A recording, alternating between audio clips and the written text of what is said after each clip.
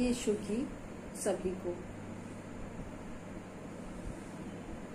ईसा मसीह ने हम सबको पवित्र बाइबल के द्वारा दृष्टांतों में हमें बताया है, समझाया है कि पाप और प्रायश्चित के द्वारा कैसे हम क्षमा पा सकते हैं। किसी पिता के दो पुत्र थे।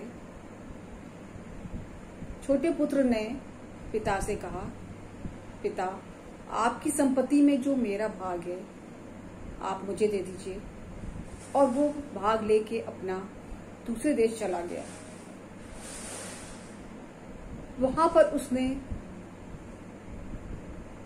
वो सारा पैसा भोग विलास में उड़ा दिया और उसके पास कुछ पैसा नहीं बचा। तो उसने एक जगह नौकरी करी। नौकरी में उसको सुअर चलाने चलाने चराने पड़ते थे और सुअरों जो खाते थे, वही सुअर वही उस लड़के को खाना पड़ता था। कुछ दिनों के बाद उस लड़के को विचार आया कि मेरे पिता के घर में तो इतने मजदूर हैं जो पेट भर रोटी खाते हैं, उसी क्षण वो अपने पिता के पास आया और अपने पिता से कहा, पिताजी, मैंने आपके विरुद्ध और स्वर्ग के विरुद्ध पाप किया है। और मैं ये पश्चाताप करता हूँ कि अब मैं आपके पास, आपके नौकरों के समान रहूँगा।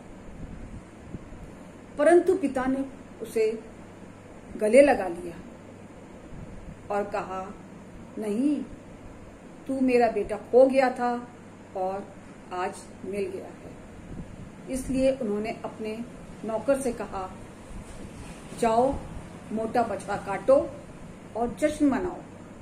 मेरा बेटा खो गया था और आज मुझे मिल गया है।